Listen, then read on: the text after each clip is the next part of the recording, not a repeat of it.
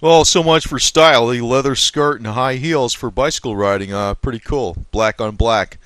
Uh, pretty cheap way to get around. You got the bag and everything, and it stays clean. Uh, you know, I'm going to get on with these markets again. You know, and I think a lot of people are getting bored with silver, right? You know, that's another reason I put uh, bicycles in there and talk about different things and all this type of stuff because, hey, you know, uh, give you an old expression by George Soros himself, right? The guy knows what he's doing. Actually, he drops some more hints than you think if you're really watching what he says carefully. But he says investments are boring. Investing is actually boring. If you are getting all excited, now, boy, literally listen to this. If you're getting all excited, you are losing money or you're about to lose money. Gee, doesn't that sound like what goes on with silver? Everybody gets pumped up. It's going up. It's going up. Ah, it's going to the moon. And bam, right? And that's kind of like uh, listen to what George Soros has to say. He's not stupid, and he's got GLD, right? I mean, yeah, he doesn't have the physical gold, but he has GLD. He's betting it's going up, and I think the electronic markets are going to hold together for a while longer. Now, um, I want to get on a couple other things. First off, with silver, you know, this is the well, this is the JPM, you know, the evil uh, JP Morgan, whatever you want to call it. The JPM Global Manufacturing Index, actually, it's going up. So you got the December 31 data. It's actually just a hair over 50.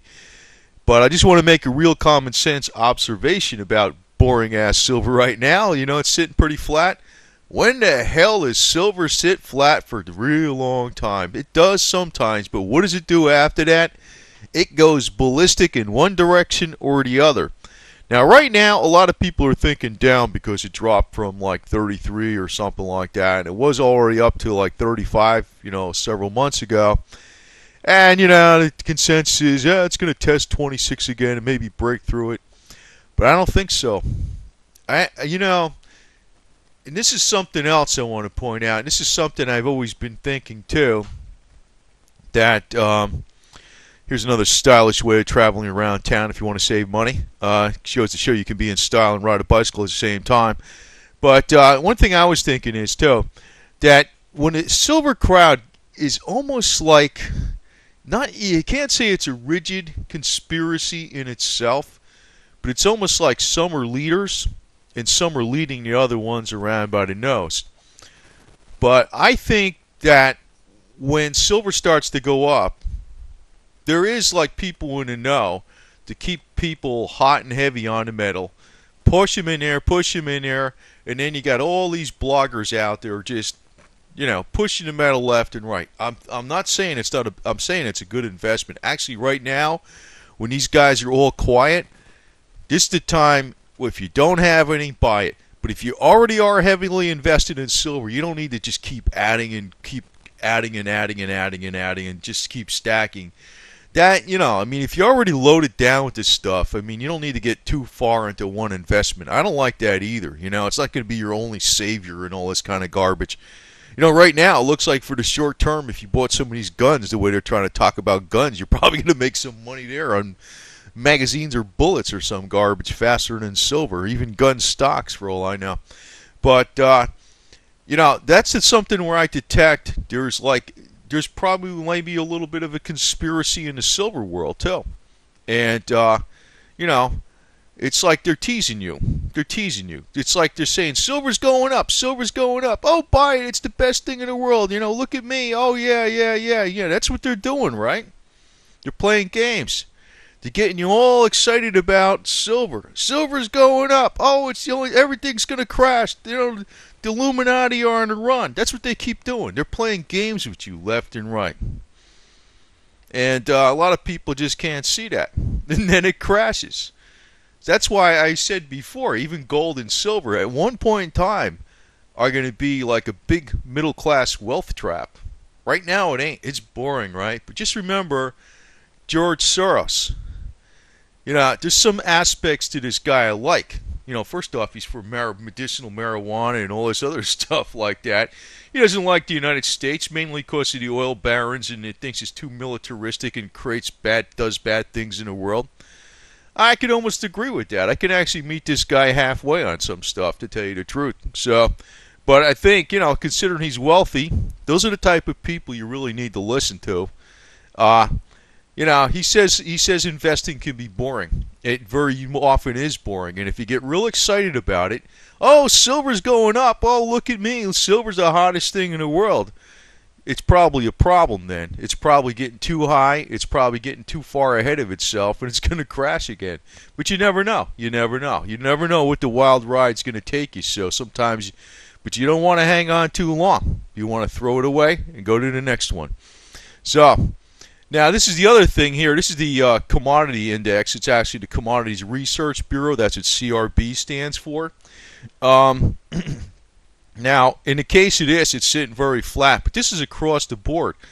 But you know, if you're looking at silver, that's pretty much what's going on. But the manufacturing's going up slowly, and uh, you know, I have to state that you know that's a good sign. That's a good sign. Ben Bernanke's words, I would not necessarily take put too much weight on, and uh, he's more or less the thing that actually drove the markets down recently, and uh, what the Fed meeting said. But actually, it was more the way the media, the way major media twisted those words, which tells you the major media is some, something not to be trusted. Now, I'm going to talk about something else not to be trusted sometimes. Man, I got a lot of people, I don't know, I got about 50 50 on this, maybe a little more positive. It was about Alex Jones. I don't trust him. I think he's a shill too. And I, I talked about, you know, his wife is Jewish, and I don't want to. I'm not talking bad about Jewish people, but you know, this is where people get confused because I don't want Jews to get picked on. Uh, but this is where people get confused. You got elitists in every group, right? You got them in the Protestant group, the Catholic group with the Vatican. You got them in uh, China, the families going way back that own that whole country. You know, we're not aware of really details of what goes on in China, but that's a rigged system big time.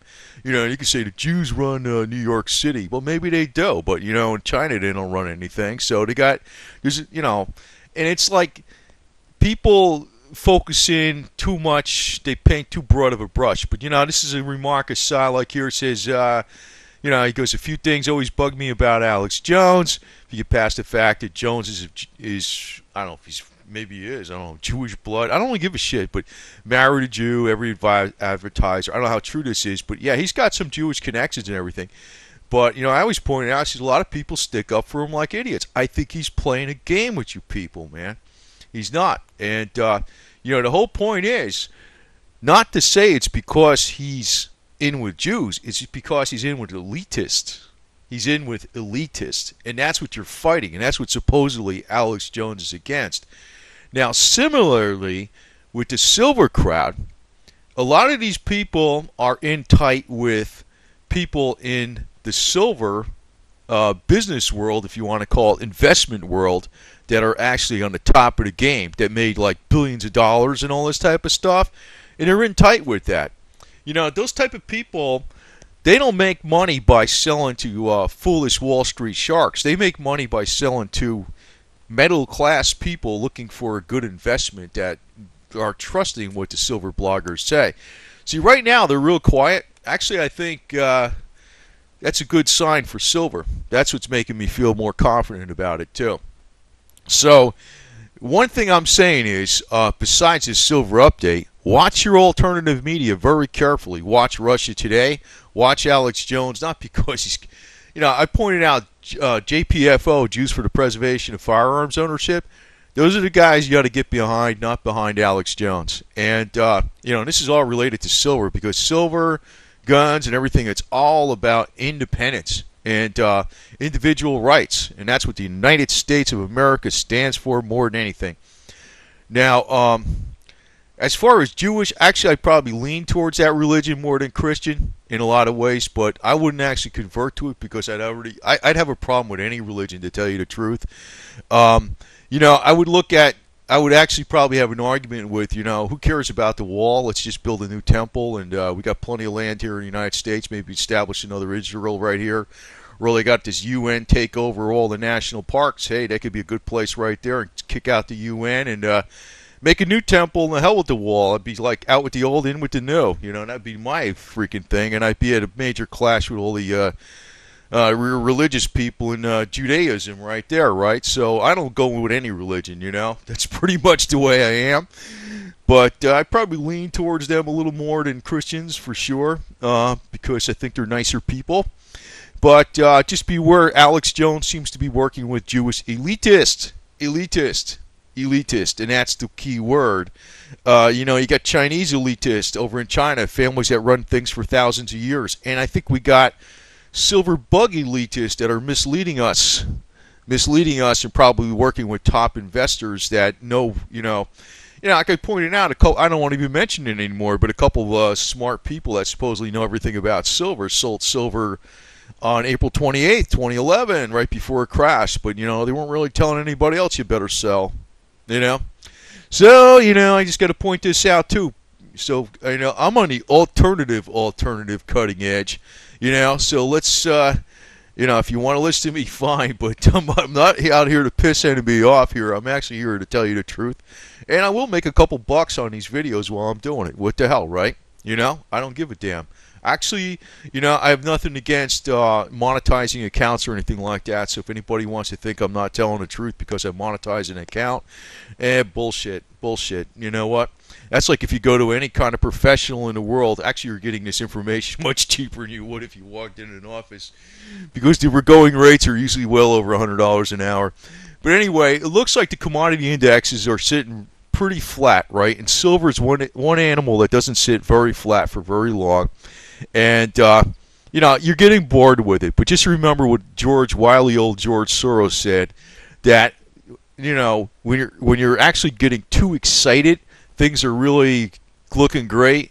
And you're all you're like wow I'm making money hand and fist and yeah this investing is easy and you know that's when you better watch out because you're in for a fall then. Actually investing is kind of boring, but silver's not going to stay flat forever. Never. It never will. And just beware of the elitist in the silver world. Beware of the elitist in uh, Alex Jones's uh, life there too. And I'm not trying to be anti-Jewish about it because either you know it's either like this. Either somebody doesn't like Alex Jones simply because he's associated with some Jews, or it's like they follow everything he says like it's gospel. But just remember the type of people he's in, involved with that are Jewish are the elitist type. They're not the average ones. So let's uh, not be anti-Semitic about it. Let's just point out that Alex Jones is in with elitist, and he's playing a game against a lot of the people that are supposedly truthers and things like that. So that's my view on that. So uh, I'm the actual real truther, and I can tell you, I go back way before the internet was like popular, and I read these things, and I look for accurate information, and I read a lot of history too. So, but you know, just tell you with this thing with silver, the Space Ghost Silver update, don't worry about it crashing really hard. I can't see how. You know, the, in other words, that PMI data index going up like that, the manufacturing index, that means the production in the world is fairly decent, which means there's a pretty good demand for silver. They probably are suppressing it right now because the mines aren't making enough money. Yet it's in demand and yet it's being used globally, and that's actually in heavy investment demand. And oh yeah, by the way, we've had record coin sales coming out of the U.S. Mint left and right. Record, all-time record, which broke all-time records last year. So what does that tell you? Yeah, the price is being suppressed. How long? I can't be forever. Like I said, un- unintended consequences, and that's what uh, Marc Faber says. Unintended consequences will come about. And, you know, when silver sitting flat like this, it's going to freaking go one way or the other really fast make a very hard move. And I say it's going to be up. But that's when your uh, disinformation silver bloggers are going to all come into being. Buy it now. It's going to a thousand. Yeah, okay.